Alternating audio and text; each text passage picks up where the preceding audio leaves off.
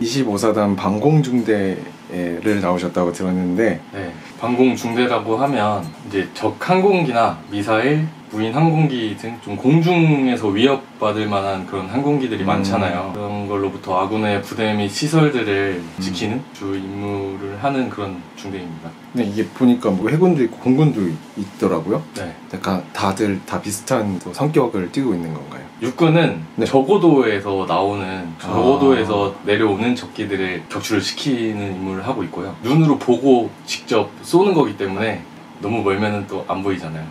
혹시 방공중대에 들어가게 된 경로가 그 당시에 군입대 하는 게 되게 힘들었어요. 지원하는 사람들이 되게 많아서 그냥 일반 지원으로는 들어가기가 힘들어서 그 당시에 기술 행정병이라고 지원을 하는 게 있었어요. 그래서 기술 행정병, 발칸 운용병으로 따로 지원을 해서 들어갔습니다. 그러면 혹시 발칸 운용병이 원래부터 지원이었어요? 아니면 신교대에서 차출이 되는 어, 원래는 제가 신교대에서 착출이 되는 걸로 들었어요. 근데 모든 보직이 그렇듯이 아예 처음부터 지원을 해서 보직 평가를 받고 입대를 하는 것도 있고 보통 제 동기들 보면 네. 다 지원해서 들어갔다고 어... 네, 들었습니다. 그럼 혹시 지원해서 들어갔는데 바뀌는 경우도 있어요? 드물긴 한데 생활하는 데 있어서 문제 있는 분들이 좀 어느 정도 있잖아요. 행정병이나 보급병으로 좀 빠지는 그런 음. 분들도 좀 있었습니다. 아, 저- 그리고 한 가지 제가 더 말씀드리자면 훈련소 마치고 후반기 교육을 보통 받아요. 자주 교육 과정인데 거기서 이제 또 조교로 착출되는 인원들이 있어서 그렇게로도 좀 더 빠질 수도 있어요. 제가 그 당시에 학생장이라고 해서 소대장 훈련병 인원이었거든요. 제가. 근데 이제 그러다 보니까 좀 그런 제안을 받았었는데 어, 안 좋게 떨어졌죠.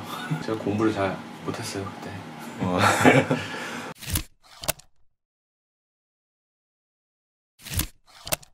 어. 방공중대 일과가 어떻게 돼요? 일가가 두 가지로 나뉘는데 주둔지에서 생활을 하는 경우도 있고 직접 진지에 올라가서 생활을 하는 경우도 있어요. 주둔지에서 생활을 하는 경우는 보통 장비에 대해서 점검을 먼저 시작을 해요. 장비 점검에는 장비 수입도 있고 녹슬거나 쎄다 보니까 그렇게 되는 경우도 많잖아요. 그래서 장비 점검하고 추적 훈련이라고 해서 네모 판때기에다가 자동으로 좀 움직일 수 있는 표적에 한해서 포신을 돌려서 계속 아 훈련을 하는 게 추적 훈련이에요. 그런 훈련을 하고 항공기 식별이라고 해서 엄청 많은 항공기에 대해서 매일매일 시험을 봐요. 아군기, 적기는 이게 필수적으로 이게 발칸 운용병이라면 다 알고 있어야 되는 부분이라서 시험을 계속 봅니다. 부대 내 생활이 좀 엄격할 것 같아요. 실탄도 사용을 하고 임무 난이도가 높다 보니까 어떤 분위기예요? 실제적으로는? 주둔지 분위기랑 진지 분위기랑 나뉘어져요. 주둔지에서는 따로 뭐 실상황에 대면할 상황도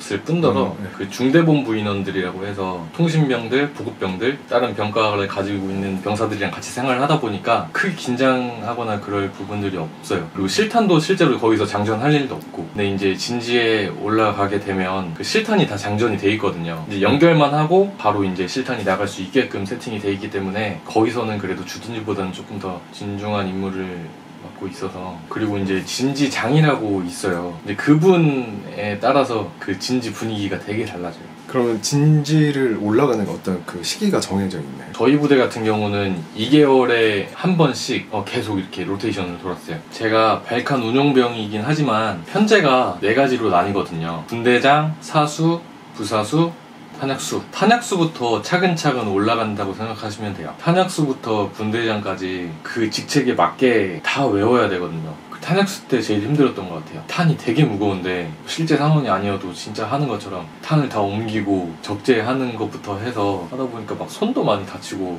얼마나 해요? 탄약수 생활에? 3개월 정도 했던 것 같아요. 후임이 좀 빨리 들어온 케이스여서. 음, 네. 사격 훈련 같은 거는 네. 부대 근처나 그런 데서는 좀 못할 것 같거든요. 어, 네, 맞아요. 대공사격 훈련장이 있는데 아, 6개월에 한 번씩 가서 훈련을 해요 실탄으로 표적판이라고 해야 되죠 그 네. 양궁 보시면 이렇게 동글동글 동글하게 그런 걸 매달아 놔 가지고 그걸 쏘는 훈련을 해요 실탄을 가지고 군생활 중에 보통 3회 정도를 크게 하는 건가요? 날씨 영향도 있고 사단에 잡혀져 있는 그런 스케줄이 있고 그러다 보니까 3회를 다 채우는 경우도 있고 못하는 경우도 되게 많은데 한 번 빼고 다 참여를 했던 것 같아요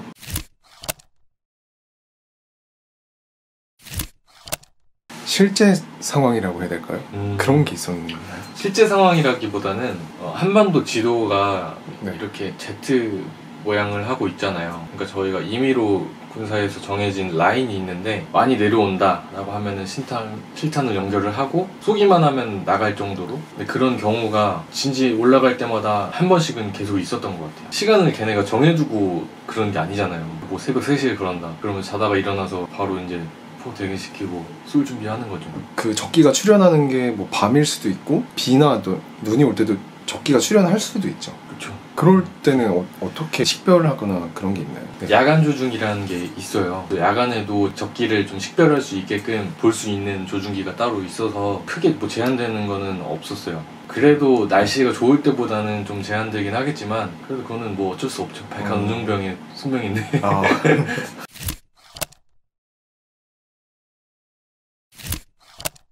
끝으로 이제 발칸포 운영병 보직에 대해서 관심 있는 입대 장정 분들도 있으실 거라고 생각이 드는데 선배로서 조언? 처음 밑바닥부터 끝까지 내가 다 알고 운영할 수 있고 그러니까 그런 자신감이라고 해야 되나? 자신감이 조금 더 많이 생긴 것 같아요.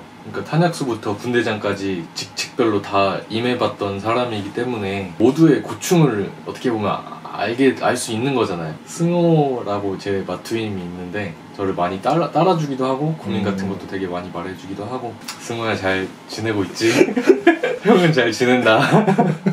밥 한번 먹자.